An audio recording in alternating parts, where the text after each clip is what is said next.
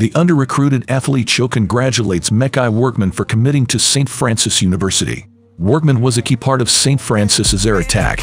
He is a versatile receiver whose quickness and speed allowed him to work in tight spaces and separate from defenders. Let's congratulate Mekhi Workman on a great season. Everybody going the same route, so I switched on my route. Niggas ain't what they be talking about, so I switched on my crew. Love me, knowing this flaw, so I'm gon' fake it too. What else am I supposed to do?